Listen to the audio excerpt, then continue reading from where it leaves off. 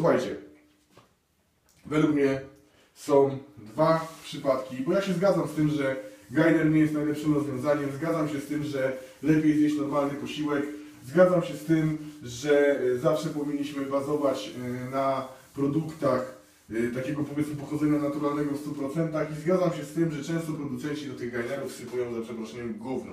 Ale są dwa, a w zasadzie trzy wyznaczniki tego, czy powinniśmy stosować gainera, czy nie.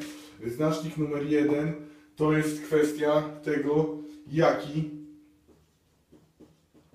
to gainer.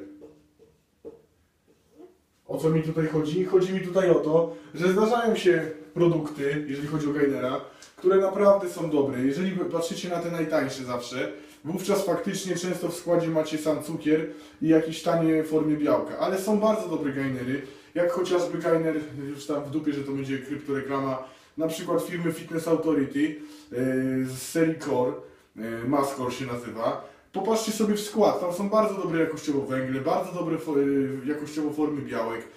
Są również inne gainery, na przykład z firmy Iron Horse, które też są bardzo dobre jakościowo. Tak samo z firmy Trek, jeżeli chodzi o polski rynek oczywiście. Również to są bardzo dobre gainery. A znaj- możecie znaleźć też takie, które są totalnym syfem. Yy, Więc po pierwsze to musicie sobie odpowiedzieć na to, jaki to jest gainer, bo naprawdę niektóre z nich mają takie wartości i takie składniki i jeżeli firma jest pewna, że na pewno jest to tam, co jest na opakowaniu, to naprawdę yy, nie ma większego problemu z takim gainerem. Druga kwestia, jeżeli chodzi o gainera, yy, druga kwestia, jeżeli chodzi o gainera, jest mianowicie taka, że musimy sobie odpowiedzieć na, na pytanie, w jakim jesteśmy etapie. Są osoby, które mają problem z dużą ilością jedzenia. To jest druga kwestia. Są osoby, które naprawdę mają problem z tym jedzeniem. Yy, Jeżeli jesteście osobami, które muszą zjeść dziennie na przykład 6 czy 7 tysięcy kilokalorii, a są takie osoby, to naprawdę nie jest to wcale proste i nawet ze zwykłego ryżu, sam dobrze wiem, bo jem teraz około 4200 kilokalorii dziennie, czasami 4500 yy, ze zdrowego jedzenia i już rozkładam to na 7, czasami 8 posiłków, żeby po prostu yy, było lżej.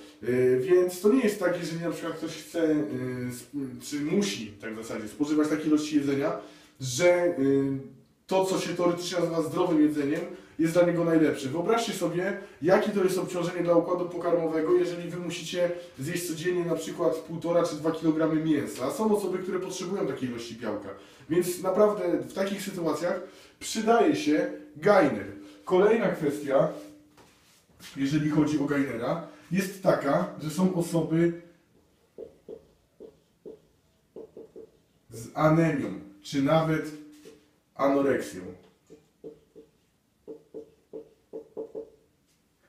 I te osoby z anemią i z anoreksją to są osoby, słuchajcie, tu się może zaśmiać, ale, ale te osoby mają naprawdę duży problem. I ja już naprawdę kilku takim osobom pomogłem wyjść z dołka, bo jeżeli te osoby spożywają jakiś posiłek, to jest im niedobrze, chce im się wymiotować, efekt też czas- czasami jest też bulimi, yy, no po prostu wasz organizm nie, nie przyswaja jedzenia.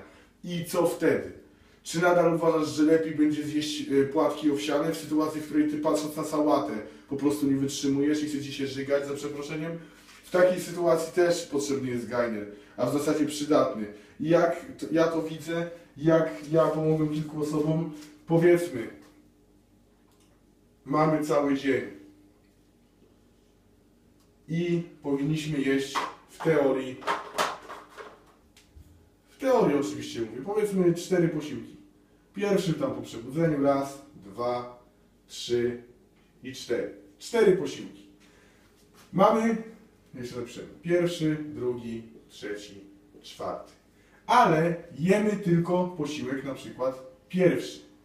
I później przez cały dzień jesteśmy głodni i nie chce nam się kompletnie jeść. A jak już mamy coś zjeść, to jest nam niedobrze i chce nam się wymiotować. Bo nasz organizm przez nasze działania, przez długi okres czasu, przyzwyczaił się do tego, że Yy, Ten jeden posiłek mu wystarczy do funkcjonowania. Macie bardzo spowolniony metabolizm, skurczony żołądek i po prostu organizm nie przyswaja większych ilości jedzenia. I co teraz? Co teraz powinniście zrobić? Czy co w takiej sytuacji pomaga? W takiej sytuacji właśnie może Wam pomóc Gainer. Jak to działa? Działa to tak, macie jeden swój normalny posiłek i teraz powiedzmy bierzemy sobie trzeci posiłek i w tym miejscu pijecie Gainera, który nie obciąża tak waszego układu, tylko ja mówię o dobrym Gainerze, tak? Pamiętajcie.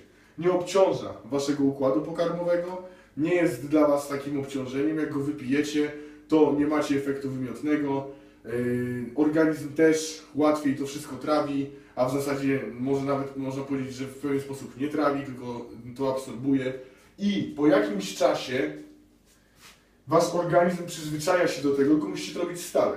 Wasz organizm przyzwyczaja się do tego, że w tym momencie jest tych kalorii więcej, tego jedzenia więcej i on się zaczyna nakręcać. Co robimy? Wówczas tutaj nie, nie już gainera tylko jemy normalny posiłek.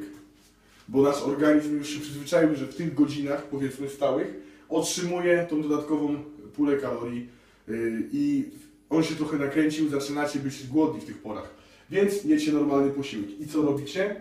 Czyli robimy tak, że to jest znowu normalny posiłek. I co robicie? I na przykład bierzecie sobie wtedy ten posiłek. Bum! I tu dajecie waszego gainera. Po jakimś czasie wywalacie tego gainera stąd, kiedy już wasz organizm się przyzwyczai i wstawiacie kolejny posiłek. I już macie trzy posiłki i w tym momencie możecie sobie dać tutaj tego gainera, a tak naprawdę wydaje mi się, że już nie będziecie musieli, bo jedząc te trzy posiłki, wasz organizm już się nakręci i z czasem bez większego problemu powinniście dać radę ten czwarty, a jeżeli nadal będziecie mieli problem, to możecie właśnie zrobić ten sam motyw i zjeść, pić tego gainera, po jakimś czasie zamienić na posiłek i już macie cztery posiłki. I tak to ja w ten sposób kilka osób odratowałem i jestem z tego dumny. Tyle Wam powiem na ten temat. Więc niech mi nikt nie mówi, że Gainer jest yy, zawsze zły. Nie mówię, że jest najlepszy, ale są naprawdę sytuacje, w których ten Gainer może Wam się przydać i zwłaszcza przydatny jest dla osób, które mają problemy właśnie tego typu czyli po prostu nie mogą jeść. Nawet jak chcą, mają efekt wymiotny. Czy chociażby muszą tyle jeść, że bardzo ciężko im nabić te kalorie. A o kwestiach typu jakieś tam wyjazdy, że jest Wam łatwiej, o tym nawet nie będę wspominał, bo to chyba każdy wie. Ja osobiście w takich sytuacjach uznaję, że lepiej mieć pojemnik, bo jeżeli to nie jest kwestia taka, że y, jest to niezbędne dla Was, to zawsze będę zwolennikiem zwykłego jedzenia. Ale naprawdę, tak jak Wam przed chwilą to przedstawiłem, są sytuacje, kiedy ten gainer jest naprawdę bardzo pomocny. Więc to było wszystko, jeżeli chodzi o ten materiał. Do zobaczenia w kolejnych na kanale Polish Fitness Freak. Brozdro. Fuck average. Are you gonna be a beast or a bitch?